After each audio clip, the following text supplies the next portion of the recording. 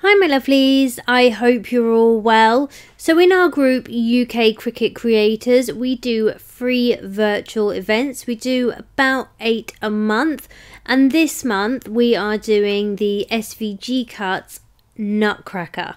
This is amazing. Now, normally with these, we will show how to scale it down or how to cut using A4 but keeping the scale the same.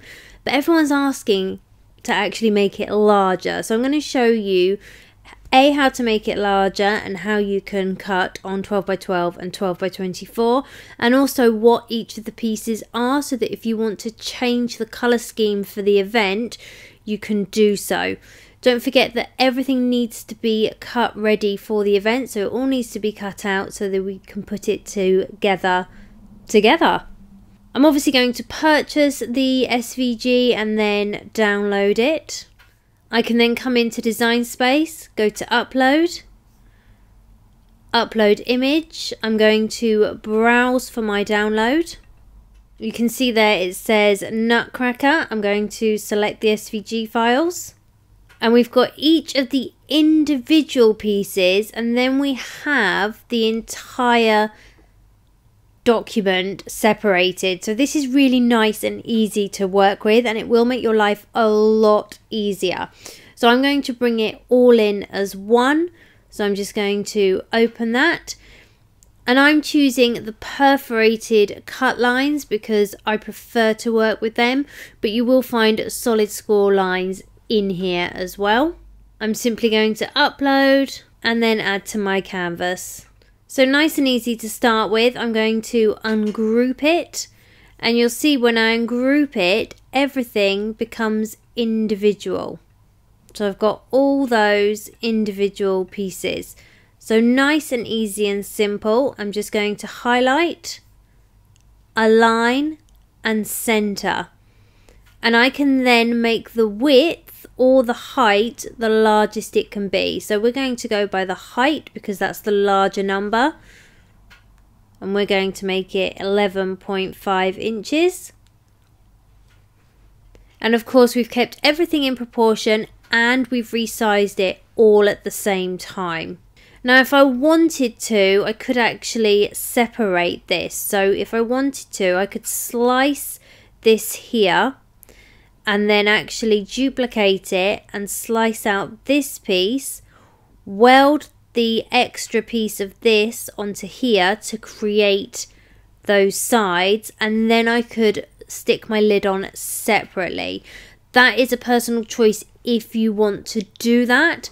I'm not going to do that today. I'm just going to size it up how I have and then I'm going to actually colour code everything. So I'm going to get everything into the correct colour sections. So what I'm going to do is go over what each of the pieces are because piecing them together will depend on if you want to use patterns, if you want to use plains.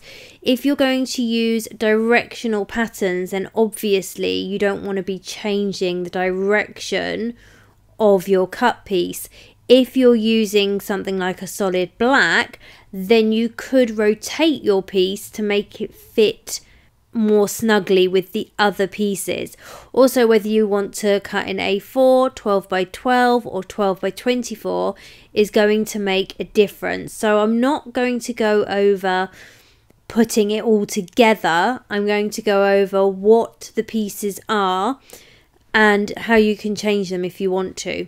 So all these rust coloured pieces here, this whole section here, which you could have as a 12 by 12 piece and then just a smaller cut or as I say you can rotate them if you're not using a directional pattern to allow them to fit a lot better.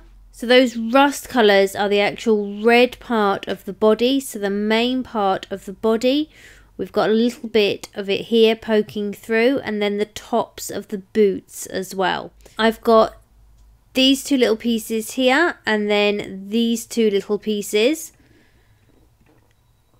So this here is the moustache and these two pieces here are the eyebrows. So again we've got the two eyebrows and then the two moustache pieces. These two pieces here are the hat. So you can see the hat there. I've then got the belt piece. These four pieces are the boots. And then this is the cape. Now, I could choose to have these all in the same colour, in which case I could put them all on two 12 by 12 sheets, or I could do one 12 by 24 sheet, or I could have them as different types of black. So, for example, the hat, I could do a metallic black card. For the boots, I could do a glitter black. The cape, I could do a pearl black, so on and so forth. So, how you want to put these together is completely up to you. But again, this section here is the hat. This is the belt. These are the boots. And this is the cape. So we've got the boots, the belt, the hat, the eyebrows, the moustache, and there is a cape peeking in the back there as well. I've got three sections of gold and again I could have these all the same or I could have them different finishes of gold or completely different colours. So these four pieces here is actually the gold areas on the arms. So one, two, three and four. I've then got the belt buckle and I've got the gold embellishments on the body as well. So there are my gold embellishments on the body and then there is my belt buckle. So again, I could have them all as the same colour and cut them all on the same sheet or I could have them in different colours or different shades or different finishes. So it's completely up to you. You can really go really crazy with this. This whole area here is actually the face and the nose. I would tend to keep that all as one sheet or one colour and just cut them out together. And you could actually get away with doing that on A4. This blue piece here is the gem piece at the top of the hat. So this piece here. Here we've got the crown. So this piece along here which has got the red and green checks. These purple pieces go on the crown. So these embellishments here in purple. We've also got another purple section here which forms part of our coat. And again, we could cut those separately to those pieces or we could obviously attach them and cut them together. These two pieces are our arms. So they create our arm pieces like so. Our two green pieces are our legs, so we can see our leg pieces there. This green piece here is the base, so there's our base. We've got two blue circles, they are the blues of our eyes. And we've also got these two white pieces, they are the whites of our eyes. This white section here is the beard, and these little white squares are the teeth. So here we've got our beard, our teeth, and our eyes. And then these two sections of white are actually the hair.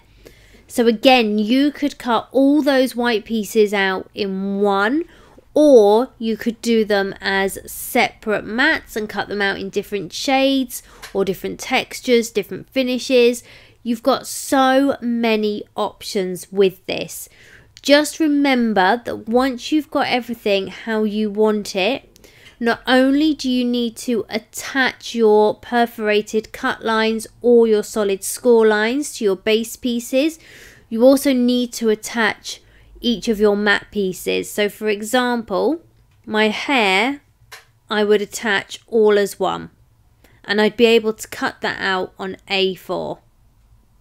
If I wanted to add the teeth and the beard and the eyes, then I could add those in and I'd still get that cut in A4. The same with my legs, I'd attach those and those perforated cuts together and I'd be able to cut that in A4. So it just depends how you want to build this in terms of colours, textures and finishes.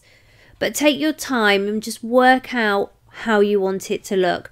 Don't forget, that you can change your colours as well. So by coming up to operation and I can then change them to how I want them to be. Especially if you're using different shades, different textures, you want to know what you're going to be cutting what in. So, for example, with all these, I would probably keep my mustache and my eyebrows the same. So I'd put those together and I would keep them grey and I would just attach them. The hat I'd have as a separate cut. So I'd attach those together, but I'm going to change the colour on those to a different shade. My boots, if I was using a directional pattern, I would want to obviously have the direction going the correct way. If I wasn't using a directional pattern or no pattern at all, then obviously I could have these however fits best. I'm going to attach them as they are and again I'm just going to have a different shade and then the same with the cape and the belt. So it's definitely worth taking your time with this. I can't wait to see these because they're going to be so different. I love it when we all create the same thing, but they always look so different depending on the cardstocks you're using, the textures, the finishes, the colours. So I'm very excited for the Nutcracker. If anyone's got any comments or questions, you can leave them below or you can send Laura or myself a message via the group. And of course, you can ask in the group as well. Please make sure that you are cut for the event so that we can all do this together. As always, thank you so much for watching. We'll see you at the event. Bye!